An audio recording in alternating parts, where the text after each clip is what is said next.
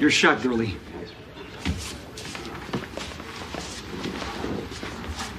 But before you take that shot, why don't we make this a little more interesting?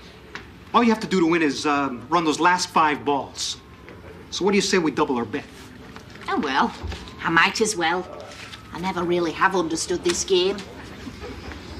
I never understood it when I started playing with my older brothers at the age of six. Never understood it during all my formative years, spent mostly in the pool halls of Manchester.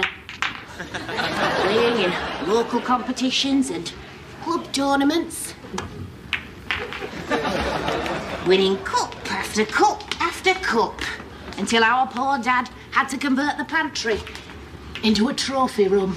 And I can't really claim to understand it. Eight ball in far corner. Even today. But I certainly do enjoy it. Thank you, gentlemen. Think how mad she'll be if she should find us here. You're right. Best make ourselves scarce.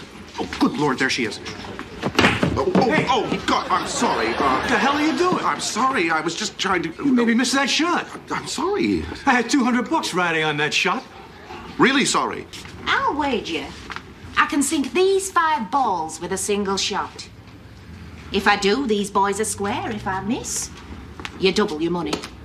Hey, I don't mind taking your money, but I was kind of looking forward to pulping this guy. Yeah, well, we won't quibble. If I miss, you can pulp him. Tell you what, I'm feeling generous tonight. I'll throw in the little one as well.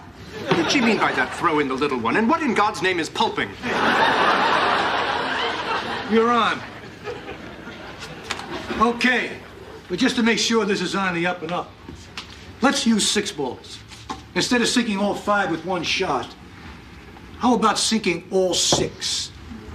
Do that and I'll uh, forget the 200 bucks. Fair enough.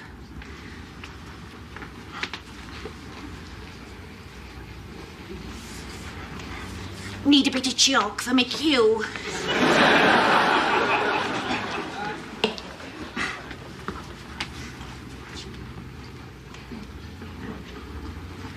Does it matter in what order I make them? Daphne! Hey, ladies, if you make any of them, it'll be a miracle.